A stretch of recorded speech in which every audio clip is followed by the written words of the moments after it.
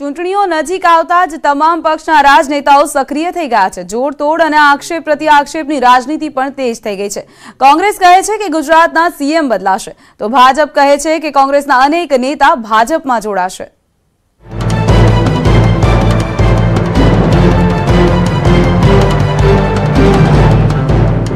ચૂંટણી પહેલા રાજનીતિ ગરમાઈ છે. કેબિનેટની બેઠક પહેલા મુખ્યમંત્રી વિજય રૂપાણીએ મધ્યપ્રદેશમાં કોંગ્રેસની સ્થિતિ અંગે પ્રતિક્રિયા આપતા કહ્યું કે ગુજરાતમાં પણ કોંગ્રેસની સ્થિતિ ખૂબ જ ખરાબ છે. અમે તો એને ગણકારતા જ નથી. બધા જાણે છે કે ગુજરાતમાં શું હાલત છે. ગુજરાતની નેતાગીરી બદલવા માટે પણ વ્યાપક આંતરિક બધું ચાલી રહ્યું છે. પરંતુ એ એનો મામલો છે. એમાં મારે કંઈ કહેવાની આવશ્યકતા મુખ્યમંત્રીના આ નિવેદન પર કોંગ્રેસને જાણે કે ગુસ્સો આવી ગયો. ગુજરાત પ્રદેશ પ્રમુખ અમિત ચાવડાએ વિજય રૂપાણી પર વળતો પ્રહાર કરતા કહ્યું કે મુખ્યમંત્રીની ખુરશી પર જોખમ હોવાથી તેઓ આવું નિવેદન આપી રહ્યા છે.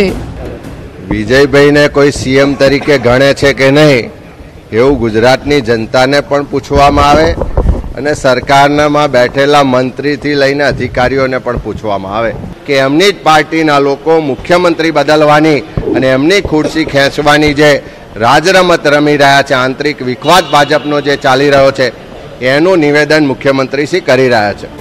તો ચાવડાના આ પ્રકારના નિવેદન પર ગૃહમાં ગૃહમંત્રી પ્રદીપસિંહ જાડેજાએ કોંગ્રેસને આડે હાથે લઈ વિજયભાઈ અમારા મુખ્યમંત્રી છે અને તેઓ જ મુખ્યમંત્રી રહેશે તેમ કહ્યું. તમારામાંથી કેટલા નેતા બોર્ડર પર બેઠા છે તે સમય આવે જ ખબર પડશે. ભાજપે ખરીદ વેચાણ સંઘ ચાલુ કર્યો છે એટલે એમને એમ છે કે દુનિયામાં બધા પૈસાથી સત્તામાં લાલચમાં ખરીદી જાય. પણ ગુજરાતમાં એક પણ ધારાસભ્ય જવાનું નથી. એટલા માટે તો ધારાસભ્યોને ખરીદવાની વાત કરે છે. પરંતુ આજે ચોક્કસ હું કહીશ કે કોંગ્રેસ પાર્ટીના એક પણ ધારાસભ્યો આ વખતે જવાના નથી. એટલે એમનું પોતાનું એ ઘર સંભાળે. કોંગ્રેસ મજબૂત છે ને મજબૂત રહેવાની છે. ના ના ના કોઈ સવાલ જ પેદા નહીં થતો. ભાજપના નેતાઓનો દાવો છે કે કોંગ્રેસના સૌરાષ્ટ્રના અને ઉત્તર ગુજરાતના સાતથી વધુ એમએલએ ભાજપના સંપર્કમાં છે. જો કે કોંગ્રેસ ધારાસભ્યોનું કહેવું છે કે એક પણ નેતા તૂટવાના નથી. રાજ્યસભાની ચૂંટણીને લઈને, ટિકિટને લઈને કકળાટ વધી ગયો છે. ભાજપે બે ઉમેદવારના નામ જાહેર કર્યા છે.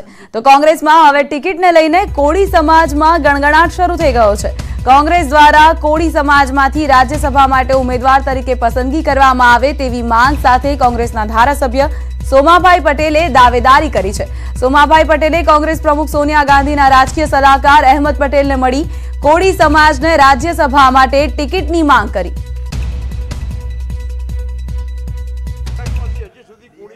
માંગમાં તો એવું છે કે સંગઠનો બધાને સમાવવા જોઈએ, દરેક જગ્યાએ રાખવા જોઈએ.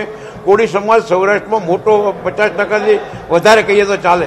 એવી રીતે કોંગ્રેસમાં પહેલેથી રહેલો છે. અને અત્યારે સંગઠનમાં નથી, કોઈ કિંમત નથી એવું લાગે છે.